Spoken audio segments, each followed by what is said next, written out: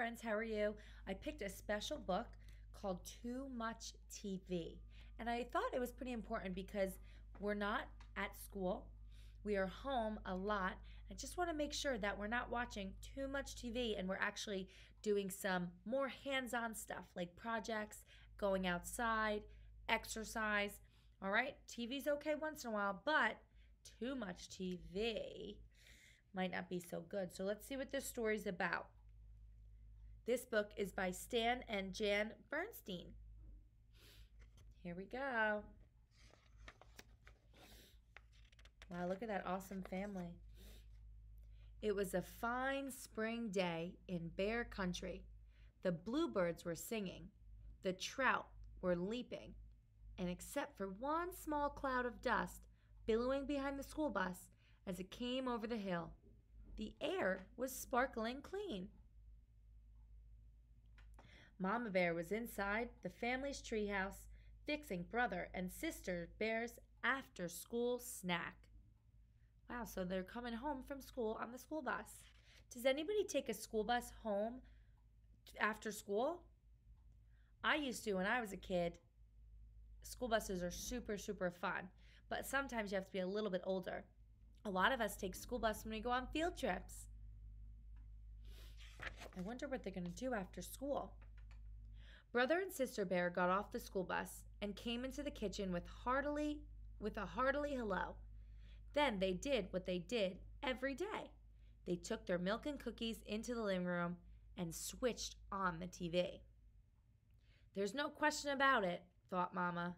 Those cubs are watching too much TV.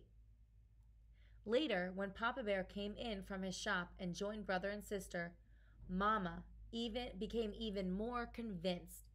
There's absolutely no question about it. The whole bear family is watching too much TV. Look at them. They're sitting in front of the TV. The whole family. They're not talking, they're just staring at the screen. She wasn't quite sure how it happened. Maybe it began when the old fuzzy picture black and white set broke down and they got a new, bigger color TV. Or maybe it started when Papa put the big antenna on top of the house and brought in pictures from all over Bear County. But however it had happened, one thing was for sure the Bear family was spending more and more time watching television and less and less time with all the other things they might be doing instead. Yeah. Look at them watching TV. Look, see them in the treehouse over here?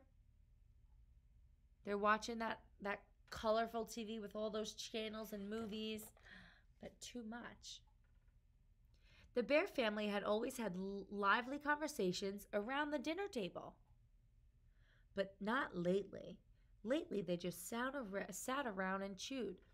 Look how happy they used to be. Now, do they look happy? No. The cubs had all kinds of fun playing outdoors, but not anymore. Look how much fun they used to have flying kites, watering the plants, going on adventures and hikes like Miss Alecia does, jumping rope. Wow, those are actually some really good ideas for adventures. But now they were too busy watching Nutty Bear and the Bear Stooges they don't look like they're having that much fun anymore, do they? No. That evening after dinner, when brother and sister scampered in to turn on the TV, Mama stopped them and said her piece. We've been watching all together too much television around here. But, Mama, said brother, Nutty Bear is coming on and we'll miss it. And the Bear Stooges, added sister. Well, You'll just have to miss them, said Mama firmly. miss their TV shows? And furthermore, she added, you may as well get used to the idea because there's not going to be any television around here for a whole week.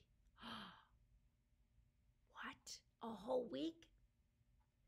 No TV for a week? said the shocked cubs.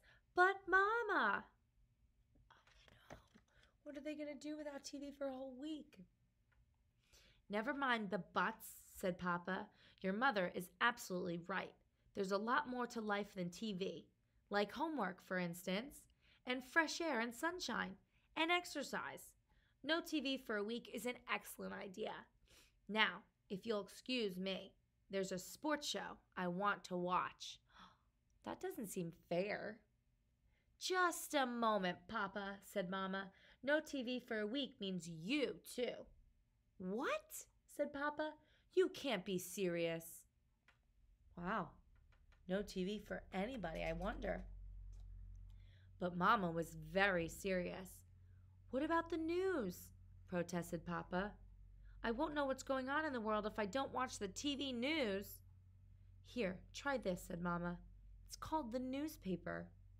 And the weather, continued Papa. How will we know what the weather will be? Try this, said Mamma. It's called putting your hand out the window to see if it's raining. Mama's kind of funny, huh? What are we supposed to do? Just sit around and talk? asked Brother. That'll be fine for starters, said Mama, settling comfortably into her rocker. Hmm. What is there to talk about? But it had been so long since the bear family sat around and talked that they had sort of forgotten how. It really didn't matter because pretty soon Papa fell asleep and snored so loudly they would have had heard each other anyway. After school the next day, the cubs looked longingly at the TV, but Mama shooed them out to play. Brother's bike had a tire that needed pumping, and Sister's trike needed a little oil and while it seemed strange not to watch TV, it was fun riding bikes and trikes again. Sort of. All right, so at least they're not watching TV, they're getting outside on their bicycles. That's good. That evening, the Cubs worked on their homework, but it wasn't easy with that blank TV just sitting there. Then Sister noticed an ad in Papa's newspaper, an ad for a TV special. Oh, Mama, she said, look, a special. No TV for a week means no TV for a week, said Mama. And besides, Mother Nature has a bigger special waiting for us. We're going to sit outside and watch the stars come out. That sounds just amazing. Go outside and sit and watch the stars and look how beautiful they are. I like that idea. I think I'm going to do that tonight.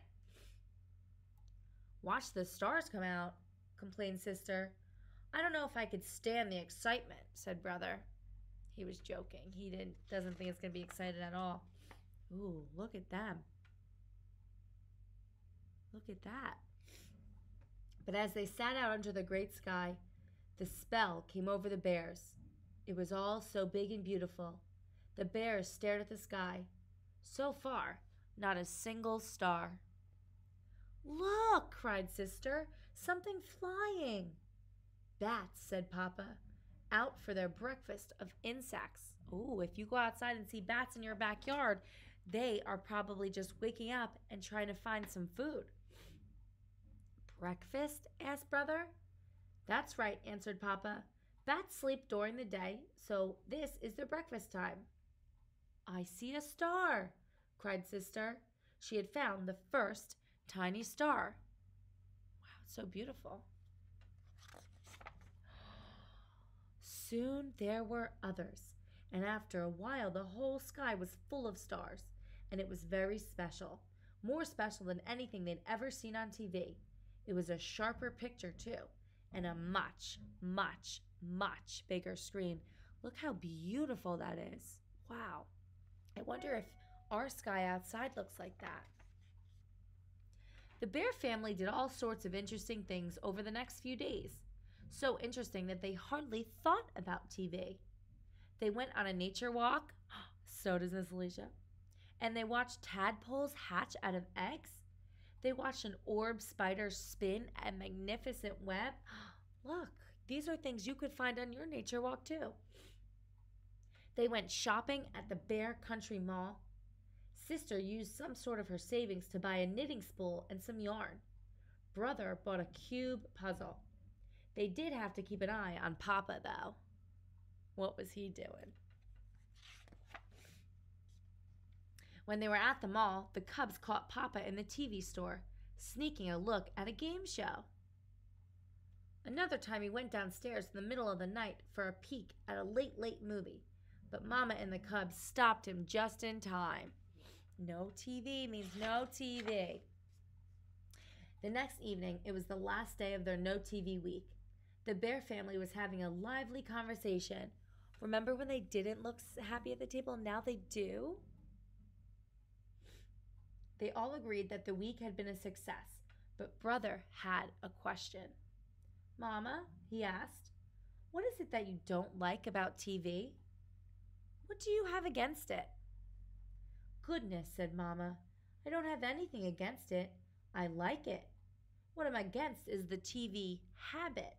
Sitting in front of it day after day, like old stumps, waiting for dry rot to sit in. Well, said Brother, tomorrow I'm going to get a whole bunch of snacks and watch TV all day. Me too, said Sister. Me too, said Papa. But the only thing, the only one who did watch it all day was Papa. Brother got interested in his cube puzzle and finally solved it. Sister started knitting a rug on her knitting spool. Finally, even Papa had enough and decided to bait his hook for a couple of those leaping trout. Wow. So look at that.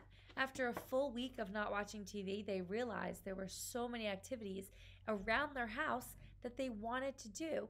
And then when it came time that they were allowed to watch TV, they thought it was a little boring and they wanted to do other things. So maybe we could go a day or two, or maybe a whole week without any technology. No iPads, no TV, and you'll start noticing there's a lot of fun adventures with your family that you enjoy. Have a great day.